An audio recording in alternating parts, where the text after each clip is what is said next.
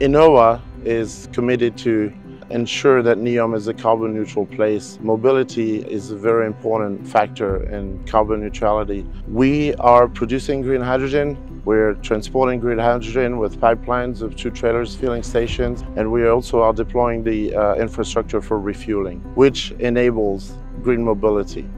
One of the key and essential elements at the very beginning to achieve this vision is the implementation of sustainable mobility. Based on this belief, we have decided to test our hydrogen mobility with ENOWA, which is the key player in energy sector here at NEOM.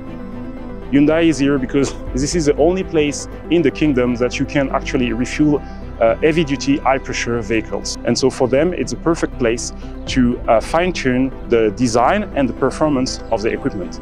Hydrogen mobility offers a superior operational efficiency, for example, range and refueling speed compared to conventional electrified vehicles.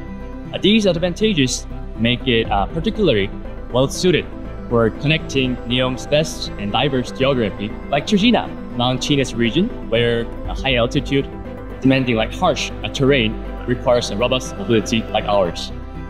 Hydrogen presents a lot of possibilities for Trojena to help us meet the requirements and the goals that we have to deliver zero emission services. We believe ourselves to be one of the key partners in realizing NEOM's vision Testing this vehicle with ENOWA is our way to prove our solutions and help NEOM realizing its future for sustainable mobility.